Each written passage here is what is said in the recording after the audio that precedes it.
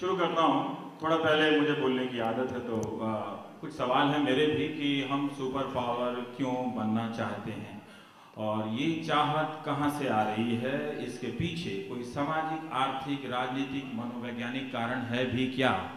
आ, ये ड्रीम हमारे लिए सपना नया है या कहीं से किसी का यूज्ड किया हुआ माल इधर इंपोर्ट होके आ रहा है?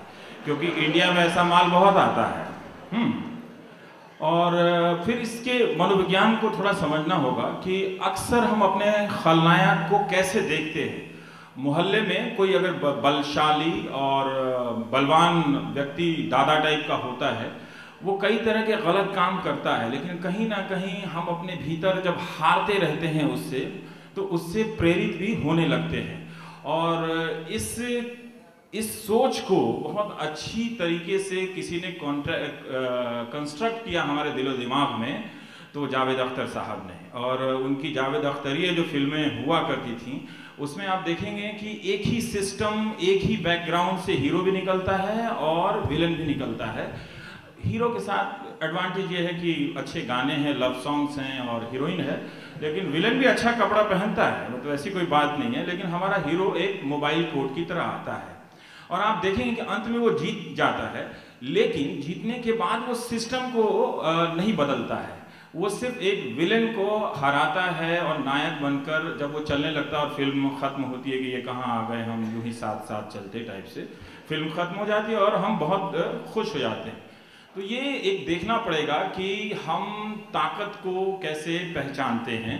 और ये क्या हमारे भीतर की कोई हीन ग्रंथि कॉम्प्लेक्स है जो हम सुपर पावर बनकर शायद उसे निपटाना चाहते हैं? कैसा इंडिया होना चाहिए? बराक ओबामा का इंडिया होना चाहिए, जो संयुक्त राष्ट्र जो एक सिस्टम है, उसे इनकार करते हुए, दरकिनार करते हुए सीरिया पर अटैक कर देना चाहते हैं?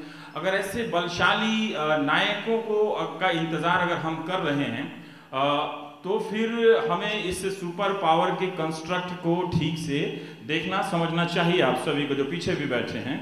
और ये देखना चाहिए कि अगर बराक हुसैन वामा साहब जो हैं, जिस तरह से ये दादागिरी करते हैं, कहीं वो उसी तरह के तो नहीं हैं जो हमारे बिहार के शहाबुद्दीन या यूपी के राजा भैया हर दिन दूसरे के खेत खलियान में घुसे रहते हैं कब्जा करने के लिए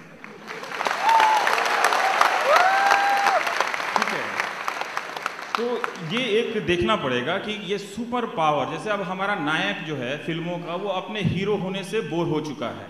तो अब वो एनिमेशन बन कर आता है। शाहरुख खान रावण बनकर आ जाते हैं, रजनीकांत कुछ और मिथिकल कैरेक्टर बन के आ जाते हैं, कोई अर्जुन बनकर चला आता है। तो ये एनिमेशन का दौर है और एनिमेशन फ़िल्में जहाँ सुपरमैन, सुपर शक्तिमान, ब्रिटानिया प्रायोजित होती हैं, वो सब बच्चों में बहुत लोकप्रिय होती हैं।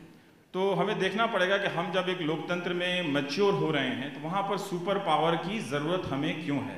और हम क्या हासिल करना चाहते हैं? कहाँ कहाँ बम गिराना चाहते हैं? कहाँ कहाँ युद्ध करना चाहते हैं? क्या ये सब तैयारी है? कहाँ कहाँ परमाणु का कारखाना खोलना चाहते हैं सुपर पावर बनने के बाद? तो हमारे यहाँ परमाणु बम बनाने का मोतियारी में खोल दीजिए। ऐसे ही गाँव गाँव में लोग कट्टे बनाकर घूमते रहते हैं। तो एक तरह से ये देखना पड़ेगा कि कि कहीं हम सुपर पावर की चाहत को ये जो चाहत हम अपने भीतर लाए हैं कहीं हमारे भीतर की नेगेटिविटी का कोई तुरंत रेडीमेड नूडल्स टाइप का आंसर तो नहीं है। ये मेरी अपनी राय है। लेकिन फिर भी जो लोग दुनिया देख रहे हैं आपके पैनल में हैं आ, उनके ज़रिए हम जानने की कोशिश करेंगे। जो उन्होंने अपने दुनिया देखी जो उन्होंने भारत की समस्याओं को देखा आ, उनके ज़रिए हम जानने की कोशिश करेंगे कि क्या है वो चीज़ जो दूर किया जाए और एक अच्छा भारत बन सके। भले ही वो सुपर पावर ना हो, लेकिन एक अच्छा रहने लायक भारत बन सके। कोई आए तो कहे कि हाँ हमें यहीं रहना है। ये बड़ा ही दिलदार हिंदुस्तान है और यहाँ रहने की बात ही कुछ और है। भले ही इसके पास दो चार ऐसे मिसाइल नहीं हैं जो सीरिया तक जाकर गिरते तो शुरुआत में त्रिलोचन जी से करता हूँ कि आपका आइडिया क्या है आज के जनरेशन के सामने कि हिंदुस्तान कैसा सुपर पावर बनना चाहिए?